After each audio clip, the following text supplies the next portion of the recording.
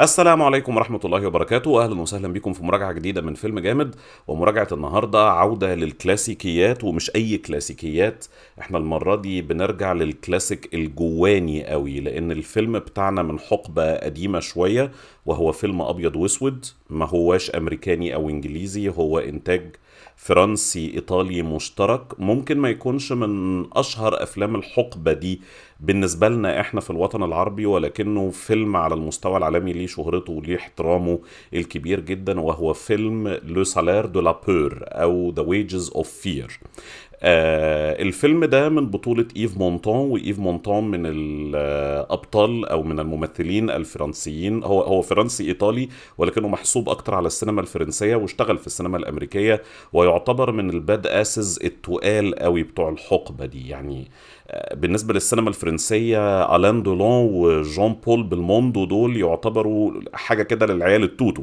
ولكن الناس التقال بقى ال ال ال اللي بيدوروا على ال badasses اللي بجد اللي هم ملوك الترسو اللي بجد يعني إيف مونتون ده بالنسبة لهم موضوع كبير قوي.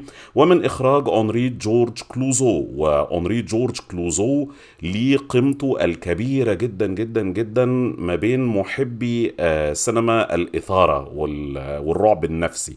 بل إنه في الفترة دي كان بيشبه كثيرا بألفريد هيتشكوك وكان يعتبر المنافس الرئيسي بتاعه آه على مستوى التصنيف ده على مستوى العالم ككل. الفيلم ده أنا معرفتي بيه قديمة شوية ولكن غير مباشرة وغير معلومة بالنسبة لي وهشرح إزاي. خلوني الأول أحكي لكم قصة الفيلم. قصة الفيلم بتدور في بلد صغيرة في أمريكا الجنوبية في فترة فيها كساد اقتصادي كبير شويتين بيعانوا منه جدا الناس كلها الوافدين يعني ناس أجانب سافروا للبلد دي على أساس إنها مليانة ثروات وفيها فرص للثراء وللنجاح والكلام ده كله ولكن للأسف سريعا الفرص دي بتنضب وما بي... والناس بتبقى أشبه ما تكون بالمساجين في المكان ده وفرصتهم الوحيدة للخروج هي إنهم يشتروا تذكرة طيارة هم معهمش تمنها. آه الأعمال أو ال business في البلد دي كلها اللي بيتحكم فيها شركة بترول أمريكية.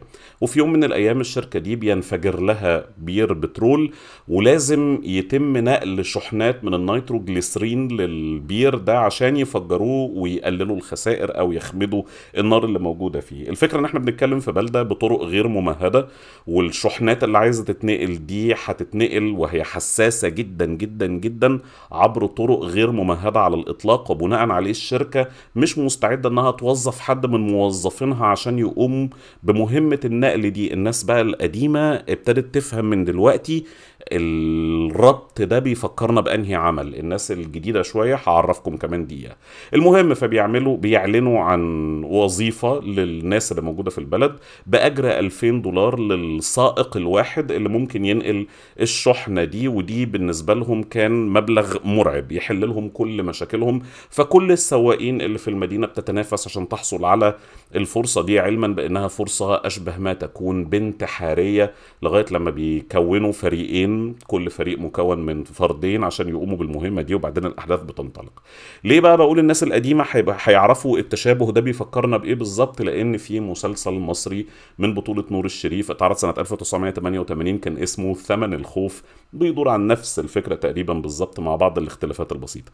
المسلسل ده كان 12 حلقة. على فكرة المسلسل متاح على يوتيوب. الناس ممكن تتفرج عليه يدوروا على ثمن الخوف هتلاقوا المسلسل. الفيلم متاح على ديلي موشن أنا شخصيا اتفرجت عليه على ديلي موشن ال ال الشيء السيء بس في تجربة المشاهدة على ديلي موشن هي كمية الإعلانات المرعبة. فلو حد عنده مصدر آخر ممكن يتفرج منه على الفيلم هيكون أفضل بكل تأكيد. المسلسل كان 12 حلقة فأنا فاكره كويس قوي وقت عرضه. أنا كان عندي 10 سنين اتفرجت عليه. مصر كلها يا جماعة كانت بتحبس نفسها لما المسلسل ده بيتعرض. هو ما نالش شهرة كبيرة قوي لأنه مش أجزاء ولأنه مش طويل ولأنه مش أزمة كبيرة وكلام زي ده. وطبعا مع مرور الزمن ابتدينا نكتشف إنه كان في بعض المعاناة البصرية يعني في بعض الحاجات وبعض الإمكانيات المحدودة في أمور معينة. ولكنه كان مسلسل مثير جدا. أنا فاكر كويس قوي فكرة المشاهدة بتاعته دي. البيت كان بيسكت محدش بيقدر يتنفس من الرعب اللي إحنا كنا بنبقى. عايشين فيه وإحنا بنتفرج. الحاجة الوحيدة بس اللي تحسب على المسلسل إن على حد علمي على حد علمي وقد أكون مخطئا ما فيهوش إشارة لأنه مقتبس لا من الفيلم الفرنسي الإيطالي ولا من الرواية اللي الفيلم الفرنسي الإيطالي نفسه مأخوذ منها. نرجع بقى لفيلمنا. فيلمنا مقسوم زي ما يكون مقسوم نصين بالسكينة يا جماعة. اللي هو نظام في فصل أول وفصل تاني. ده, ده الفيلم كله يعني. الفصل الأول هو تعريف بالظروف بتاعة الأحداث بالشخصيات بتاعتنا بالصراع اللي هم فيه بإيه اللي ممكن يفرض عليهم إنهم يقبلوا فرصة زي دي رغم الخطورة الكبيرة اللي فيها. بنبني علاقات مع الشخصيات الرئيسية اللي هتكمل معانا في الفيلم بعد كده وبنتعرف من خلالها على الخلفيات السياسية والاجتماعية بتاعة العالم كله في الفترة دي فترة سيطرة الرأسمالية وتوحشها على الناس الغلابة ولا الناس البسطاء ولا الكلام ده كله. لأن الشركة الأمريكية دي لما بتعين الناس دول فقط هربا من أي موظف ممكن يكون عنده تأمين أو عنده نقابة أو عنده اتحاد يقرفنا من الآخر يعني هم من الآخر بيعينوا ناس عشان يموتوهم. الموضوع ده ما بيترميش في وشك الموضوع دوت بيتبني على نار هادية جدا جدا جدا في النص الأولاني.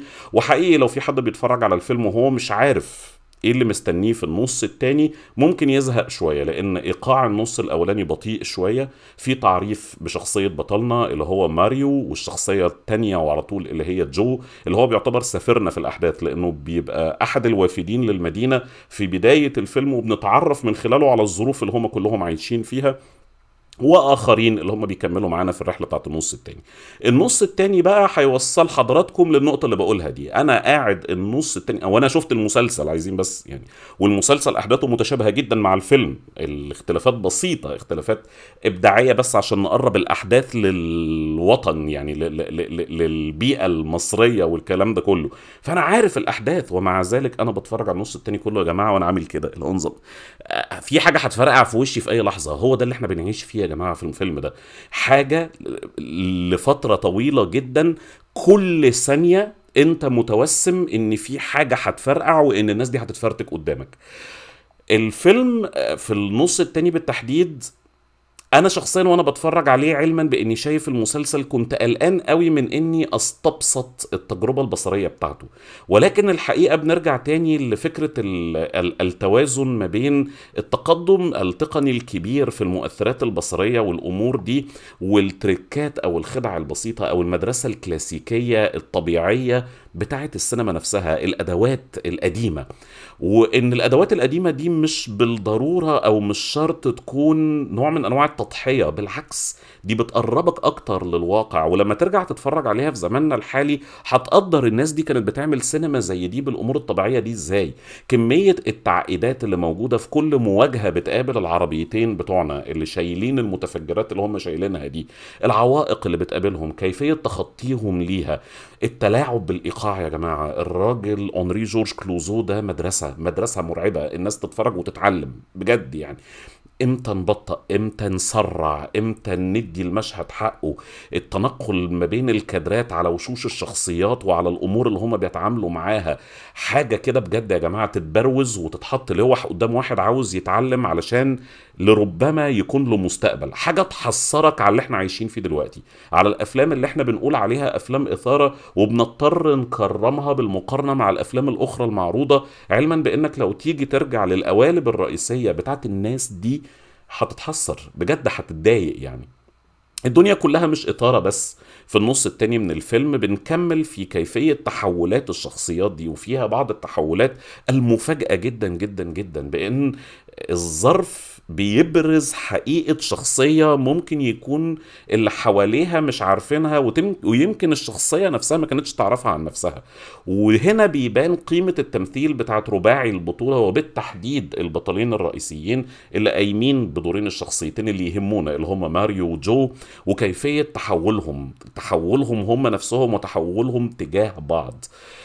لا شيء شيء عظيم يعني بجد اللي اللي أنا أنصح بمشاهدة الفيلم ده بالشده علشان حاجة ما بقيناش بنشوف زيها لا على مستوى الحبكة ولا على مستوى التفاصيل ولا ولا على مستوى إنك تسلم نفسك. لأستاذ يقدر يتلاعب بيك ويحطك في حالة الشد العصبي المرعب ده التحفظات الوحيدة عندي على الفيلم هو فعلا إنه النص الأولاني إيقاعه ممكن يكون بطيء جدا ولولا إن هو فيلم كلاسيكي إحنا واثقين فيه فسلمنا نفسنا ليه وصبرنا على النص التاني اللي بيكافئ جدا وبيستخدم بشكل فعال كل اللي حصل في الجزء الأولاني. لا النص الأولاني ده لو واحد بيتفرج عليه على عماه ممكن جدا يصرف نظر عن الفيلم ويقرر إنه مش عايز يكمله لأنه ما فيهوش كتير من أدوات الجذب اللي ممكن تخلي حد يتمسك بيه.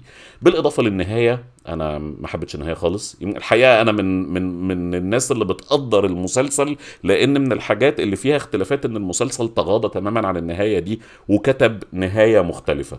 ولكن بصرف النظر عن التحفظين دول الفيلم من الأفلام اللي أنا برشحها بشدة ضمن الكلاسيكيات واخترته هو بالتحديد لأني أظن إن مفيش ناس كتير تعرفه أعتقد إنها ممكن تنبسط بتجربة مشاهدته.